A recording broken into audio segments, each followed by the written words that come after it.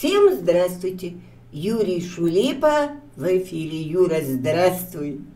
Привет, Света, и мое традиционное приветствие нашим зрителям и слушателям. А, да, у Юры просто сегодня исключительная э, ситуация. Конечно, он в теплой куртке одет, но обратите внимание, у него есть электричество, у него есть интернет. О, сглазила, сглазила, сглазила. А, так, и интернет. Юр, алло.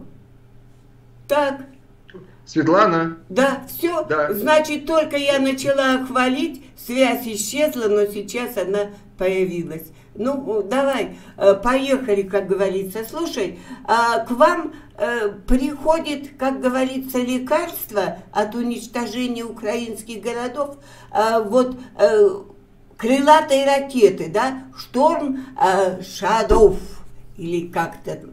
Shadow. Storm Shadow. Shadow. Но надо, надо говорить вот, вот, вот с таким английским прононсом. Да не умею я, вот, не ну, получается. э, ну вот, вот ты, а ты представь, что тебя пригласили С нижегородским на акцентом у меня, понимаешь? Отдохнуть куда-то, вот так расслабиться на такую вот цивилизованную тусовку с англичанами. Ты говоришь шторм вот так вот от души. Вот как вот э, в, в ходе хорошего отдыха. Storm Shadow вот так вот. Как- и, как, и как будто груз с души снимается. Storm Shadow. Давай Storm рассказывай, Shadow. что это за ракеты и когда они придут. Уже надоело, что вам только все обещают. Давай. Storm Shadow это, это крылатые ракеты воздушного базирования. Э, Дальность поражения у них э, по, ну, скажем так, официально это неизвестно. Почему? Потому что это является военно-технической тайной Великобритании. Но исходя из э, той информации, которую можно найти в открытых источниках, составляет около 500 километров. При том, что если на ракету Storm Shadow поставить дополнительный, я уж скажу так, да меня ракетостроители э, э, примитивно, э, дополнительный топливный бак и более мощный разгонный блок, ее можно довести до сверхзвуковой скорости, потому что ее скорость по технической характеристике, ну, опять-таки из тех данных, которые нам известны, она дозу, дозвуковая, ну, про фактически, фактически скорость звука.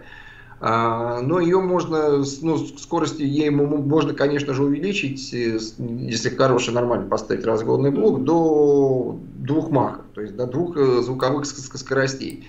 А Когда эти ракеты появятся на вооружении? А когда они появятся на Вот, вооружении? Отвечаю на, да, отвечаю на этот важнейший вопрос. Первое, от того, когда наше военно-политическое руководство осознает не- необходимость того, что эти ракеты должны быть на вооружении Украины, а, в свою очередь военно-политическое руководство Великобритании проявит волю. И, как известно, хотя эта информация, она уже далеко не инсайдерская, ей а, скоро будет э, два месяца, но тем не менее это та догма, через которую мы не можем, как говорится, перейти. Эта догма будет актуальна до тех пор, пока Украина действительно не получит ракеты Storm Shadow или, э, и- или получит э, э, ракеты аналогичного класса, ну, например, такие, как э, ракеты класса Першинг. То есть это тоже э, крылатые ракеты, примерно, ну, они, правда, на значительно большей дальности. Либо третий вариант, Украина начнет э, производить свои такие же аналогичные крылатые ракеты воздушного базирования. Поэтому еще раз, что этот, эту, эту догму мы никак не перейдем, не перескочим, равно как и окончание этой войны до тех пор, по- точнее, э, длительность этой войны до тех пор, пока не будет осужден Путин и его э, чекистско-фашистская банда. Вот. Э, Министр обороны Великобритании Бен Уоллес сообщил, что если будут продолжаться такие варварские, террористические, геноцидальные раки- массированные ракетные обстрелы украинских городов, украинской критической энергоинфраструктуры, то он э, а, готов э, содействовать тому, чтобы Украине были поставлены эти крылатые ракеты воздушного базирования Storm Shadow. И таким образом э, сейчас первый субъект, я уже сказал, это военно-политическое руководство Украины. Второй субъект, кого это зависит, это военно-политическое руководство Великобритании. И третий субъект, я считаю, его ни в коем случае нельзя исключать, это само гражданское общество, которое проживает в Великобритании. Это в том числе и твой любимый спикер Андрей Евгеньевич Корчагин, который уже э, второе десятилетие проживает в Великобритании, является ее подданным гражданином. Это и белорусская диаспора, и украинская, и вообще все антипутинские. Да? Все, сейчас, я уже неоднократно об этом говорю, что сейчас все, что здравое, нормальное, адекватное, все, что несет жизнь, оно антироссийское, и, соответственно, антипутинское. Если они проведут акцию э, протеста, выступят возле э, здания британского government, то есть правительства, скажут, ну-ка, Украине Storm Shadow, немедленно. Ну, начать, тут как э, Дима Багрыш, который тоже наш с тобой хороший знакомый, начал акцию в Великобритании. Ты помнишь его демократический кемп, Mm-hmm. Когда началось полномасштабное российское вторжение, я буквально на следующий день, 25 февраля позвонил Диме в Берлин и говорю, Дима, пробил твой звездный час, э, э, немедленно развертывай свой кемп э, возле... Дима Баграш сидит под арестом. Ну, сейчас он сидит под, под арестом, мы будем разбираться. Я уже дал поручение своим знакомым проверить эту информацию и оказать Диме правовую помощь и различные содействия, чтобы как можно быстрее он вышел, потому что Дима нам нужен. Ну, э, я к чему?